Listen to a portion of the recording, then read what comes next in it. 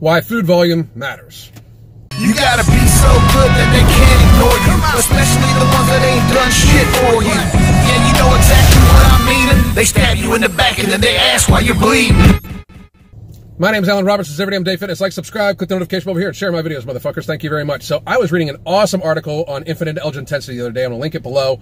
Um, the article is written by my motherfucker, Kajs Hadzic. There's also articles on there written by James from Shredded Sports Science. Elgin has great fucking content on that website. If you're not subscribed to it, you definitely fucking should be.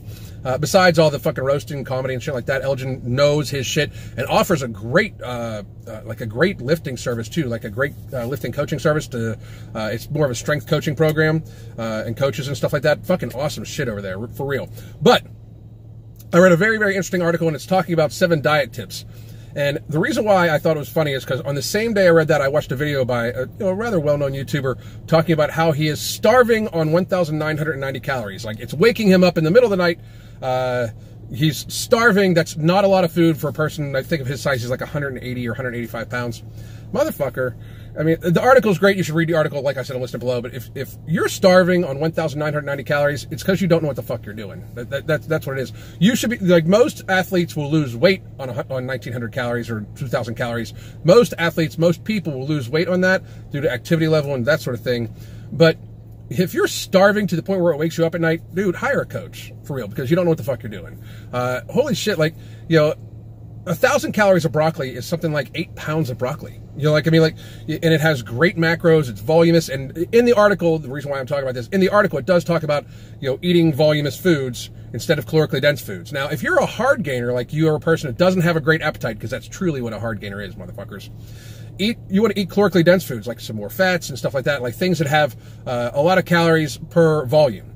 But you know, foods that aren't very calorically dense, such as broccoli and other vegetables, you know, other, you know, highly uh, nutritious but very voluminous vegetables, will fill your ass the fuck up and make it so you're not hungry. Like, uh, I'm going to post up here, this is what I ate yesterday, or the, excuse me, two days ago. And this is how many calories and the macros that were involved in it. You know, I was fucking stuffed to the fucking gills. Now, I don't eat breakfast, of course, and, you know, it's I always talk about that where I don't eat breakfast and I don't even consider it, you know, intermittent fasting. I'm just not hungry, and that's when I actually take in most of my fluids in the day is early on in the day. So uh, that way I'm not getting up the piss every two hours at fucking night. But uh, that is what I ate from pretty much noon until about seven o'clock at night, and I was fucking stuffed, just fucking stuffed full, like to the point where I was like almost slightly uncomfortable. And I got all my macros in, I got all my omega-3 and omega-6 fatty acids, I got all my nutrients, I took a multivitamin on top of it, uh, I ate two ounces of walnuts, stuff like, it is very, very, very easy, very easy to fill yourself up. And if you know how to cook and use the right seasonings and maybe some, you know, the right oils, like I love avocado oil, I think it, you know, adds a great richness to the flavor when I saute vegetables. 2,000 calories is plenty of food by volume if you do it right, and you can easily lose weight on it. It is not some ridiculous thing. So I highly suggest you check out that article.